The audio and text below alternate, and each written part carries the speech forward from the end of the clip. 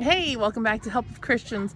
I just wanted to run something past you just for you to like kind of mull over in your brain. So I was just cruising through YouTube and came across a prophet that I don't normally listen to. So I don't want to share this prophet's name um, because I haven't discerned them. But they did say something that kind of has me thinking.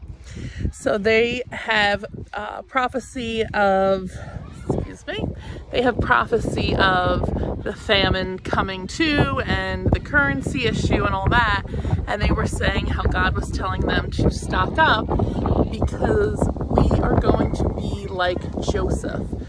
We are going to be the ones with the grain, with the bread to sell to our neighbors. So when the um, grocery stores are empty, you are going to be able to be the person that has the bread to sell to your neighbor, has the whatever it is, the milk, the butter, whatever you have. Um, but do you know how to make bread?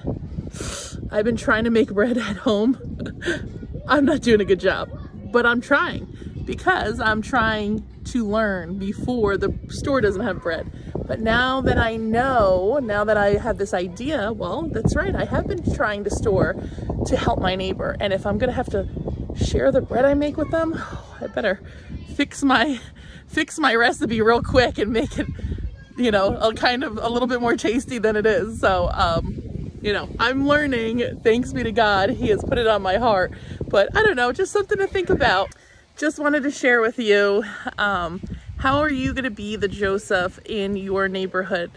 How can you bless others? What skills do you have?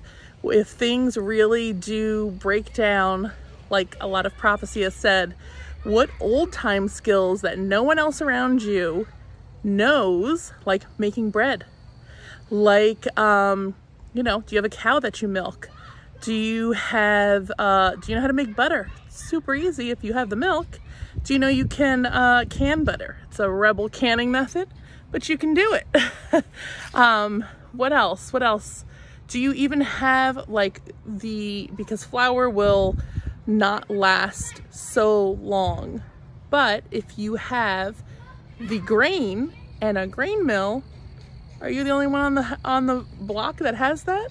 You're gonna be an asset. So think of those things. Just a thought. Have a blessed day.